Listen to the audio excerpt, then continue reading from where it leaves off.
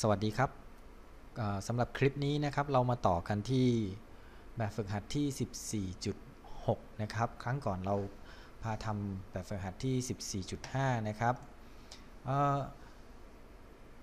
ตัวอย่างที่ 14.6 นี้เนี่ยอาจารย์ได้พูดถึงไปบ้างแล้วนะครับในในคาบหากหากใครยังจำได้นะครับ เพราะว่าเป็นการคูลิ่งนะครับเป็นการลดอุณหภูมินะครับ ซึ่งพวกเราก็คงจะพอคุ้นๆนะครับที่เส้นความชื้นนะครับ ความชื้นวิ่งตามเส้นเส้นนี้ลงมานะครับที่ความชื้น 100%นะเเราเรามาดูที่โจทย์ก่อนนะครับ แล้วค่อยมา plot plot process ที่เกิดขึ้นใน psychometric chart นะครับเเขาบอกว่ามีอากาศนะครับที่ผ่านเข้ามานะครับ ที่ผ่านเข้ามาเนี่ยในระบบ air condition เนี่ย ที่ความดัน 1 ATM นะครับ ความดัน 1 ATM 1 ATM ถ้าจำได้นะครับอาจารย์อาจารย์บอกว่า P ที่ 1 ATM เท่ากับเท่าไหร่ครับ 101 ใช่ไหม101.325 กิโลปาสคาลนะครับ ถ้าจำได้อาจารย์พูดถึงในห้องนะครับ อุณหภูมิขาเข้า 30 องศา C นะครับ มีความชื้นสัมผัส 80%นะครับ มี volume flow rate นะครับ volume flow rate ที่ 10 ลูกบาศก์เมตรต่อนาทีนะครับ จากนั้นก็ออกจากระบบการปรับอากาศด้วย sat saturated air นะครับคำว่า saturated air ก็คืออากาศอิ่มตัวนะครับ เพราะเพราะเพราะฉะนั้นแสดงว่าความชื้นของมันเนี่ย มีค่าเปอร์เซ็นต์ความชื้นที่ 100%นะครับ อุณหภูมิ 14 องศาเซนะครับ เขาบอกว่าในระหว่างที่อากาศเนี่ย ผ่านกระบวนการปรับอากาศเนี่ยเกิดการ condense ด้วยนะครับ เกิดการ condense เพราะฉะนั้นมันก็จะมีไอ้น้ำบางส่วนที่ควบแน่นแล้วก็แล้วก็ออกจากระบบไปนะครับ ออกจากระบบไปนะเพราะฉะนั้นถ้าถ้าเราจะเขียนเป็นไดอะแกรมนะครับ ให้เข้าใจง่ายๆ ก็คือผมมีคอเย็นนะครับ คอเย็นแบบนี้ขดอยู่นะครับ จากนั้นก็มีอากาศเข้ามานะครับที่อุณหภูมิ 30 องศาซี ความชื้นสัมผัส 80%นะครับเข้ามาพอเข้ามาปุ๊บไอ้น้ำก็เกิดการกลั่นตัวนะครับ กลายเป็นหยดน้ำนะครับหยดน้ำแล้วก็มีมวลของน้ำเนี่ยที่ออกจากระบบไปนะครับ ซึ่งตรงนี้ก็แทนด้วยตัวแปรว่าเป็น m dot water นะครับ m dot water จากนั้นไอตัวคอยเย็นของเราเนี่ยทำหน้าที่อะไรนะครับ ทำหน้าที่อะไร ก็คือมันทำหน้าที่ลดอุณหภูมิแสดงว่ามันดูดเอาพลังงานออกไปนะครับ แสดงว่ามันก็มี Q นะครับ มี Q Q out ที่ถูกดึงออกไปนะครับ เพื่อทำให้อุณหภูมิเย็นลงนะครับทำให้อุณหภูมิเย็นลง process คร่าวๆของเราจะเป็นแบบนี้นะครับ ทีนี้เราก็มาดูที่แผนภูมิ psychrometric chart นะครับว่าแผนภูมิ psychrometric chart ของเราเนี่ยจะมี process เป็นยังไงนะครับ ก็เริ่มต้นก่อนนะครับ เราก็ไปดูที่ทางเข้าที่จุดที่1นะครับ อุณหภูมิ 30 องศาซีอยู่ตรงนี้นะครับ 30 องศาซีแล้วก็มีทางออก 14 องศาซี1 2 3 4 ตรงนี้นะครับ 14 14 องศาซี14 อยู่ตรงนี้ 30 อยู่ตรงนี้นะครับ 30 องศาซีความชื้นสัมพัทธ์เป็น 80%นะครับ ก็อยู่ตรงนี้นะครับ มันจะตัดกับ RH 80%นะครับ จากตรงนี้เนี่ยเขาบอกว่าเขาผ่านโปรเซสลดอุณหภูมินะครับ เพราะฉะนั้นเส้นกราฟจะต้องวิ่งมาทางด้านซ้ายมือนะครับ วิ่งมาทางด้านซ้ายมือ มาแตะที่เส้นอิ่มตัวนะครับ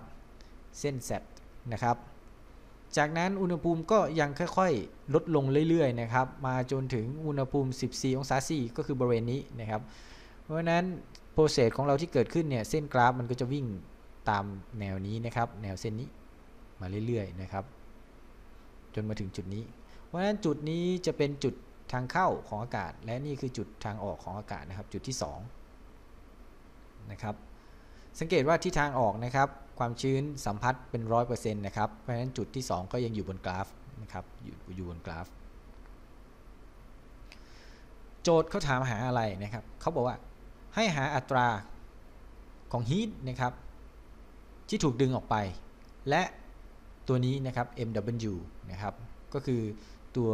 มวลของน้ำที่ควบแน่นออกไปนะครับ เพราะฉะนั้นโจทย์เขาถามหาอะไรนะครับ เราก็เขียนไว้ก่อนไฟล์ q out นะครับ ท่ากับเท่าไหร่ และอีกตัวหนึ่งก็คือ m.w นะครับเท่ากับเท่าไหร่สำหรับตัวอย่างนี้ก็จะพยายามไปเร็วๆนะครับ จะไม่ไม่ช้าเหมือนตัวอย่างที่ 14.5 นะครับ ก่อนอื่นเลยนะครับ เราจะพูดถึง assumption ก่อน assumption นะครับ assumption ของเราเลยที่ขาดไม่ได้อันแรกเลยนะครับคือ process นี้ต้องเป็น steady state steady flow นะครับ 2. นะครับ เราต้องวิเคราะห์ dry air แล้วก็ vapor ให้เป็นแบบ ideal gas นะครับ เพราะฉะนั้นเราก็ต้องบอกว่า dry air ของเรา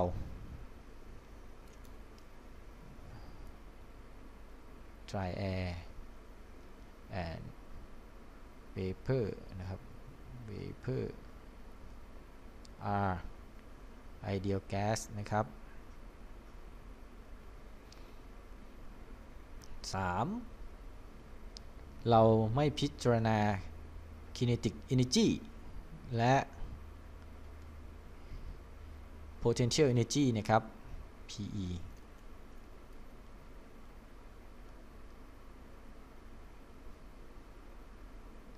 are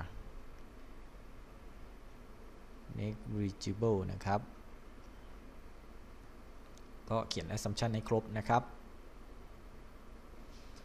จากนั้นก็จะสู่ขั้นตอนการคำนวณนะครับ ซึ่งในตัวอย่างที่แล้วนะครับ ผมก็บอกเป็น step เอาไว้นะครับ ก็คือ step แรกเราต้องทำ mass balance ซะก่อน step ที่ 2 ค่อยทำ energy balance นะครับ จากนั้นเราก็ค่อยไปหาค่าแต่ละตัวแปรนะครับ เพราะนั้น first step ของเรานะครับเข้าสู่ analysis นะ analysis นะครับ first step ของเราเนี่ยคือ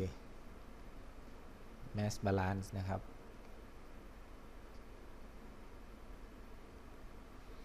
เราพบว่าเราแยกนะครับพิจารณาออกเป็น dry air นะครับกับน้ำนะครับ ที่ dry air เนี่ยเรามี MA1 นะครับเป็นขาเข้านะครับ มันจะเท่ากับ MA 2 เท่ากับ MA เพราะว่ามวลของอากาศแห้งของเราเนี่ยไม่ได้หายไปไหนนะครับไม่ไม่ได้หายไปไหน ส่วน water นะครับ water นะครับ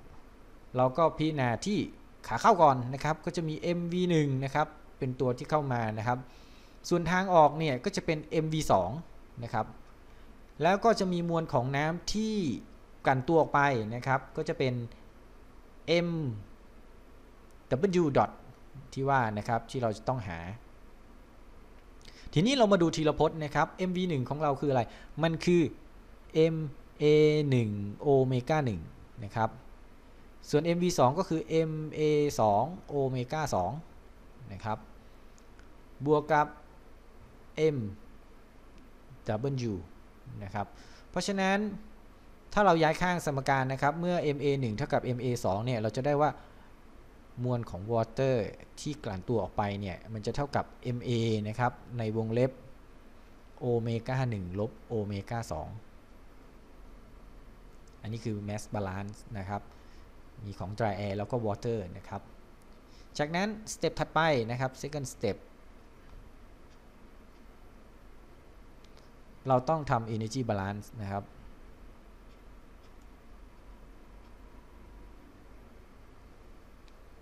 ทำ energy balance นะครับ ก็จาก first law ของเรานะครับ จาก first law เนี่ย เราก็ได้ว่า QCV บวกกับ sigma MIHI มันเท่ากับ work CV นะครับ บวกกับ sigma MEHE นะครับ มีพลังงานเข้ากับพลังงานที่ออกนะครับ ใน assumption ข้อที่ 3 นะครับ อันนี้เราให้เป็น 0 นะครับ ไม่มี work เกิดขึ้นนะครับ เพราะฉะนั้นเราก็มาดูนะครับว่า MIHI ของเรามีอะไรบ้างนะครับ QCV บวกกับ MIHI นะครับ MI ก็มีทางเข้านะครับเป็น MA1 H1 นะครับ มันจะเท่ากับทางออกนะครับมีอะไรบ้าง M A2 H2 บวกกับที่ทางออกเนี่ยมันมีน้ำไหลออกมาด้วยนะครับ เพราะฉะนั้นมันก็จะเป็น mass ของ water คูณกับ HF นะครับ HF เป็น set water นะครับ ที่กลั่นตัวออกไปนะครับจากตรงนี้เนี่ย ถ้าเราจัดสมการใหม่นะครับ เราจะได้ว่า Q CV ของเราหรือ Q out นะครับ Q out ของเราเนี่ย จะเท่ากับ อันนี้เท่ากันนะครับ MA 1 MA 2 เท่ากัน มันจะได้ MA ในวงเล็บ H 2 ลบ H 1บวกกับ M dot water อันนี้ผมลืมเขียน dot นะครับ mass flow rate ทั้งหมดนะครับ คูณกับ HF นะครับ สังเกตว่าเราจะมีอยู่ 2 สมการนะครับ สมการหลัก สมการนี้ แล้วก็สมการนี้นะครับ จากนั้นนะครับ เราก็ทำการหาค่าแต่ละตัวนะครับ สังเกตว่าเขาถามหา MW กับ Q out ใช่ไหมครับ เพราะฉะนั้นเท่าที่เราดูเนี่ยเหมือนกับว่าเราจะต้องหา MW ให้ได้ก่อนนะครับ แล้วค่อยมาหา Q out ทีหลังนะครับ แล้วก็ที่เราจะรู้อยู่แล้วก็คือ H2 กับ H1 นะครับว่าจะต้องหายังไงนะครับ เราก็ค่อยๆหาไปทีละตัวนะเริ่มจาก H ก่อนนะครับ ค่า enthalpy ของอากาศนะครับ จากนะครับจาก H เท่ากับ CPT บวกกับโอเมก้า Hg นะครับ ถ้าเราแทนตรงนี้นะครับที่ H1 H2 นะครับ เราจะได้ว่า H1 เท่ากับ CPT1 บวกกับโอเมก้า1 H G add T1 นะครับ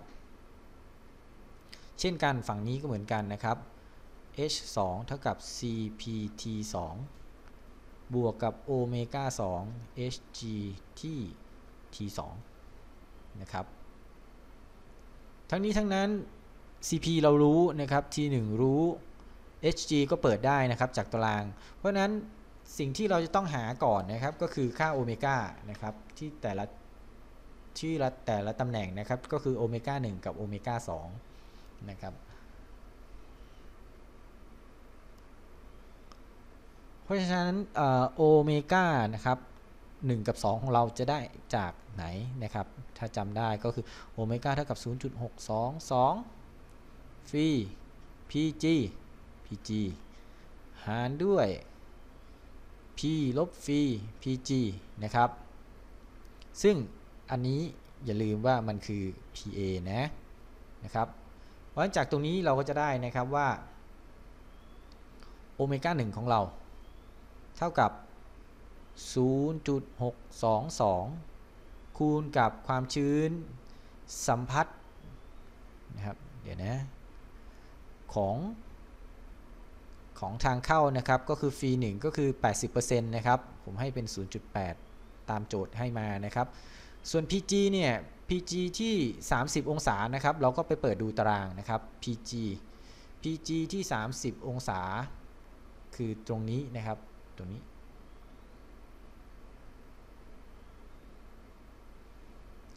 ไฮ ไลท์อ่า4.2469 นะครับ ที่ 30 องศานะ เราก็แทนค่าลงไปนะครับ PG 4.2469 กิโลปาสคาลนะครับ หารด้วย P ก็คือ 101.325 กิโลปาสคาลนะครับ คือความดันบรรยากาศ ลบด้วย 0.8 คูณกับ 4.2469 นะครับ กิโลปาสคาล เพราะฉะนั้นเราจะได้โอเมก้า 1 ออกมาเท่ากับตรงนี้ขออนุญาตใช้ Excel นะครับ ในการคำนวณ คิดเป็นข้างบนก่อนนะครับ คิดแยกเป็นข้างบนก่อน ข้างบนเนี่ยเท่ากับ 0.622 คูณกับ 0.8 คูณกับ 4.2469 นะครับ ส่วนข้างล่างนะครับ ข้างล่างก็เท่ากับ 101.325 กิโลปาสคาลนะครับ ลบด้วยในวงเล็บ 0.8 คูณกับ 4.2469 จะได้เป็นค่านี้ออกมานะครับ เพราะฉะนั้นถ้าหาออกมาแล้วเราก็จะได้ว่าโอเมก้าของเราเนี่ยเท่ากับ อันนี้ตั้งหารด้วยอันนี้นะครับ ก็จะประมาณนี้นะครับ ได้โอเมก้าของเรามา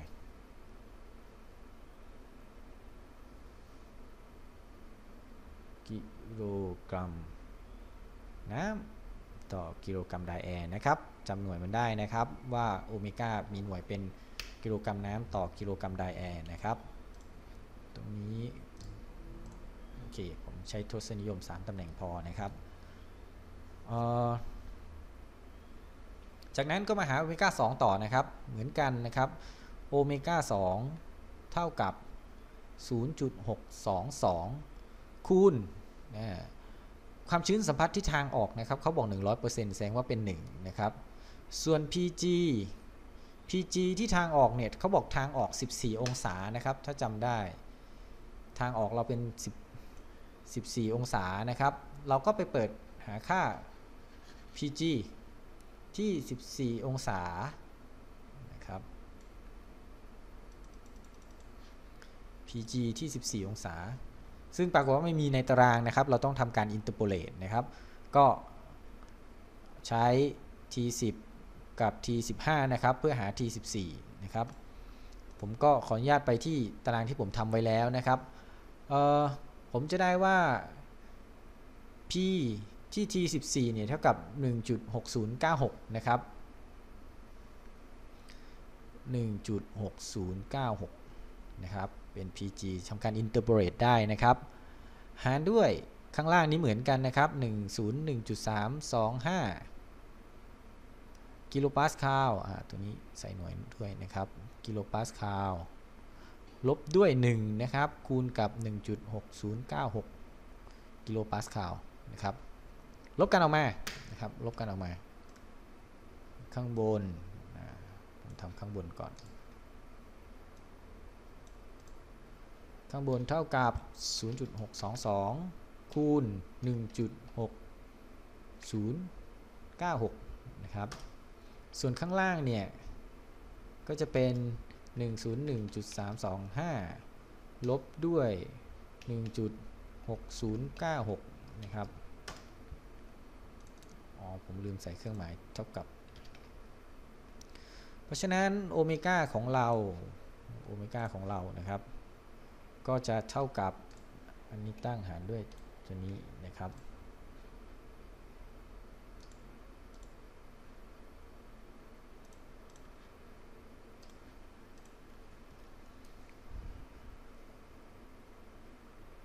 ก็จะได้โอเมก้า2มาเท่ากับ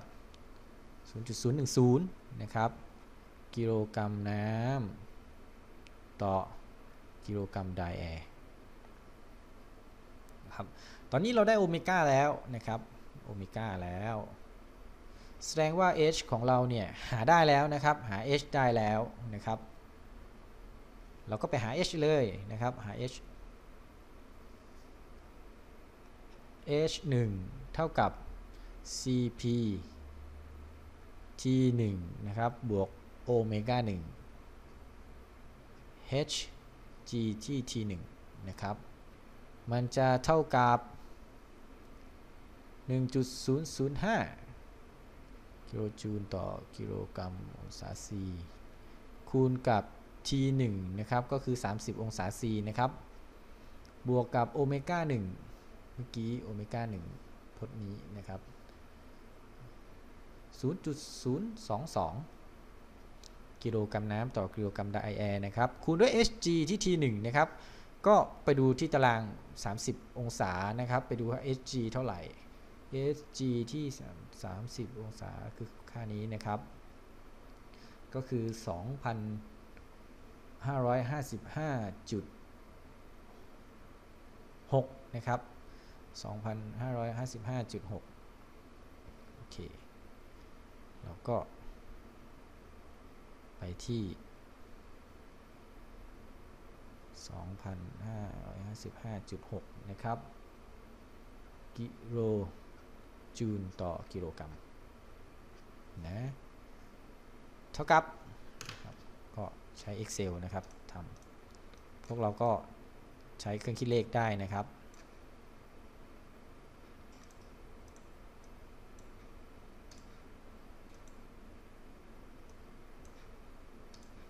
ขอแยกเป็นพจน์หน้าก่อน พจน์หน้าเท่ากับ 1.005 คูณกับ 30 บวกกับ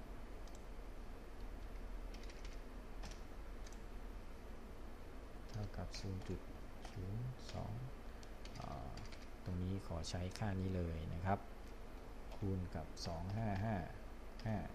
255.5.6 ราะฉะนั้นค่า h ของเราก็จะเท่ากับ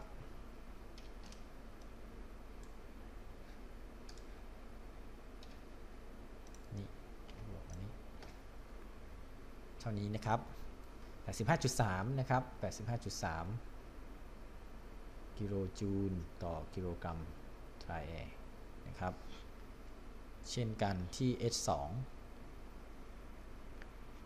h 2เท่ากับ cp t 2 บวกโอเมก้า2 hg ที่ t 2 นะครับ เท่ากับ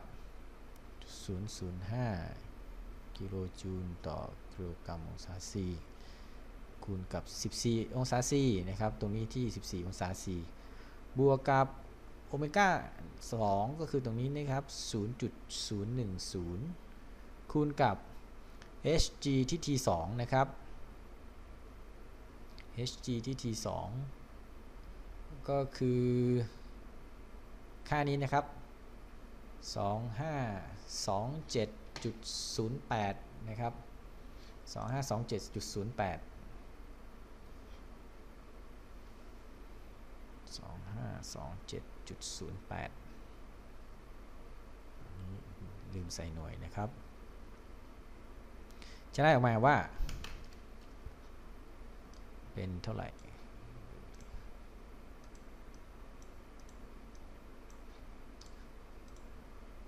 เท่ากับ 1.005 คูณกับ 14 นะครับ บวกกับข้างหลังพจน์หลังนะครับ ก็คือ 0.010 คูณกับ 2527.08 เท่ากับเท่านี้นะครับ เท่ากับ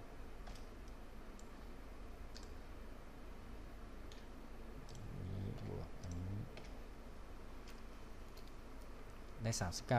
39.4 กิโลจูลต่อกิโลกรัมไดแอร์นะครับ ถัดมาเอ่อ h ของเรายังเหลืออีกตัวหนึ่งนะครับ จากสมการตัวนี้เนี่ยเราต้องหา hf ด้วยนะครับ เพราะฉะนั้นเราก็ไปหารอเลยนะครับ ซึ่ง hf hf ที่ 14 องศา C เนี่ยนะครับ เราก็ไปดูตาราง ก็คือต้องหา นี่นะครับ มันจะอยู่ระหว่าง 42 กับ 62 นะครับ ก็เหมือนเดิมนะ ผมขออนุญาตใช้ Excel นะครับ ในการทำค่า interpolate HF อันนี้เปลี่ยนเป็น HF ข้างบนคือ 42.022 42.022 นะครับ ข้างล่าง 62.982 62.982 นะครับ เพราะฉะนั้น HF ผมได้เท่ากับ 58.79 58.79 นะครับ ต่อกิโลกรัมนะ ทีนี้เราขึ้นไปดูสมการของเรานะครับ เราได้มาหมดแล้วนะครับ เราได้อะไรมาบ้างเมื่อกี้ที่เราคำนวณนะครับ เราได้ HF แล้วได้ H1 H2 นะครับ ได้โอเมก้า1โอเมก้า2นะครับ เรายังขาดตัวนี้ครับ MA นะครับ MA นะครับ เมื่อเราหา MA ได้จะนำไปสู่ค่า mass ของ water เนี่ยครับที่ที่กลั่นตัวออกไปนะครับ แล้วก็นำไปสู่ค่า Q out นะครับ เพราะฉะนั้นเราไปหา MA ก่อน นะครับ เพราะฉะนั้นถ้าไปดูที่ MA นะครับเขาบอก mass flow rate มา ถ้ายังจำตัวอย่างที่แล้วได้นะครับ เราจะเห็นว่า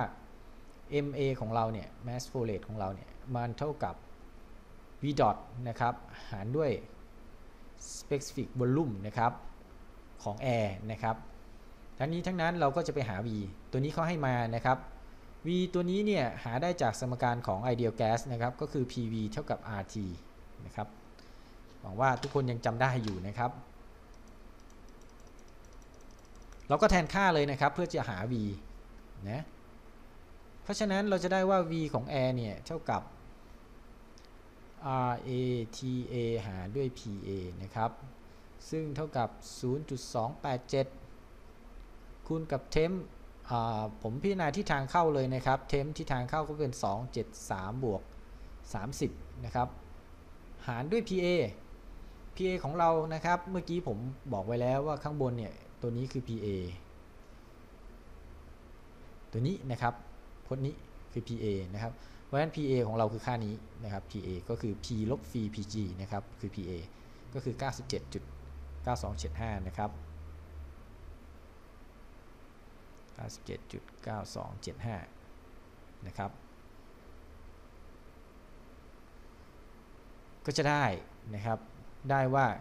ค่า v ของเราเท่ากับ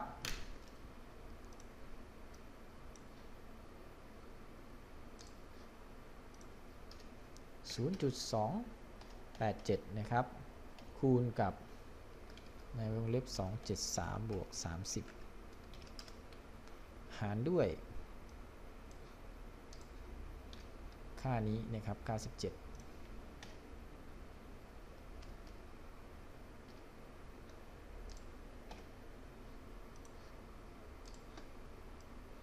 ก็จะได้เท่ากับ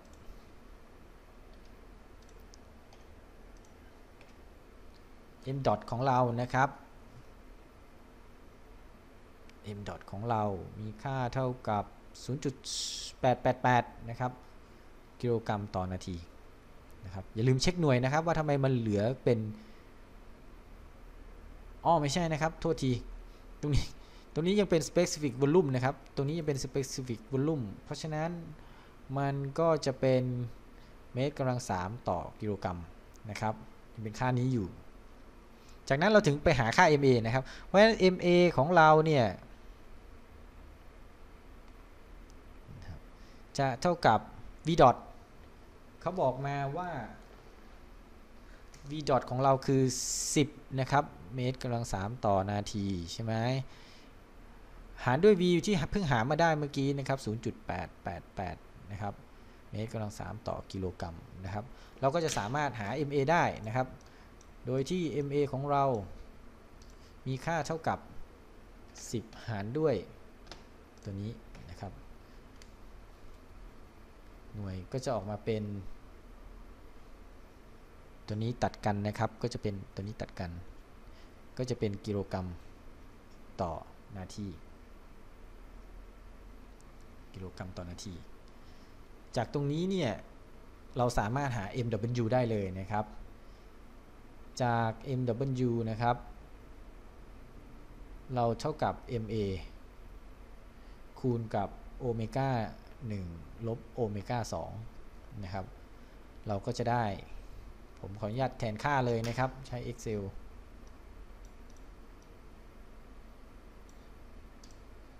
ก็เท่ากับ MA นะครับ คูณกับในวงเล็บของโอเมก้า1ลบโอเมก้า2นะครับ เมื่อกี้โอเมก้า1คือตัวนี้ ลบด้วยโอเมก้า2คือตัวนี้นะครับ เพราะฉะนั้น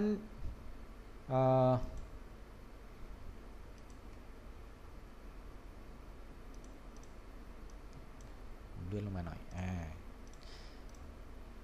MW ของเรานะครับ จะได้เป็นค่านี้นะครับ กิโลกรัมต่อนาที อันนี้คือ อัตราของการกลั่นตัวของน้ำนะครับที่ออกจากระบบนะครับจะกลั่นตัวออกไปในอัตรา 0.13 กิโลกรัมต่อนาทีนะครับ ซึ่งเป็นคำตอบแรกของเรานะครับจากนั้นเราก็ไปหาต่อนะครับ เนื่องจากว่าได้ครบแล้วเราก็จะไปหา Q ต่อ เพราะนั้นจาก Q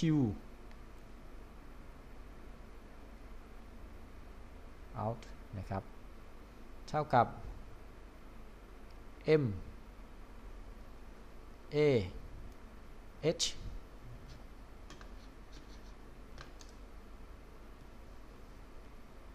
2ลบ H 1นะครับ บวกกับ มวลของน้ำนะครับที่ออกไปคูณกับค่า H ของน้ำเนี่ยนะครับ เราก็จะได้ว่าตัวนี้ เท่ากับ ผมแทนค่าเลยนะครับ 11.26 นะครับ หรือเป็น 11.3 นะครับ กิโลกรัมต่อนาที คูณกับ h 2 h 2 39 นะครับ h 1คือ 85 นะครับ แล้วก็แทนค่านะครับ 39 ลบ 85 นะครับ กิโลจูลต่อกิโลกรัม ตัวนี้ไดแอร์นะครับไดแอร์บวกกับ mass ของ water ที่เราหาได้เมื่อกี้นะครับ คูณกับ HF นะครับ ซึ่งเปิดตารางเอานะครับ ถ้าจำได้เมื่อกี้จะเป็น 58.79 นะครับ ค่านี้ 58.79 กิโลจูลต่อกิโลกรัม เพราะฉะนั้นแทนค่าเลยนะครับ ผมก็จะใช้ Excel เหมือนเดิมนะครับ ในการหาค่าหาค่า ด้านหน้าก่อนนะครับ ข้างหน้าก็คือ 11.3 นะครับ คูณกับในวงเล็บ h 2ลบ h 1 h 2ลบ h 1นะครับ บวกกับบวกกับพจน์ข้างหลังนะครับ พจน์ข้างหลัง ก็จะเท่ากับ 0.013 คูณกับ 58.79 นะครับ บวกกันออกมา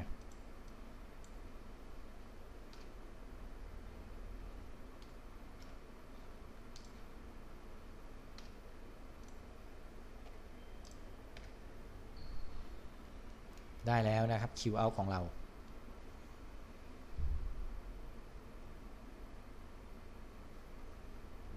เรา จะได้ Q out ของเราออกมาเท่ากับลบ508 กิโลจูลต่อนาทีนะครับ ต่อนาที หน่วยเป็นลบเพราะว่าเราเสีย Q ออกไปนะครับ เราก็จะได้คำตอบที่2นะครับ ก็เป็นอันเสร็จสำหรับข้อนี้นะครับ อย่าลืมนะครับว่าตัว psychrometric chart นะครับ อาจารย์ให้ใช้เฉพาะในการแสดง process ที่เกิดขึ้นเฉยๆนะครับ ที่เกิดขึ้นเฉยๆ แต่ในการคำนวณนะครับ เราต้องใช้เบสิกการคำนวณแบบนี้นะครับ ตามตามที่ผมแสดงให้ดูนะครับ ก็ยังไงขอให้นักศึกษาไปทบทวนแบบฝึกหัดของทั้ง 2 อันนะครับ ทั้ง 14.5 แล้วก็ทั้ง 14.6 ให้เข้าใจอีกทีนึงนะครับ ครับ สวัสดีครับ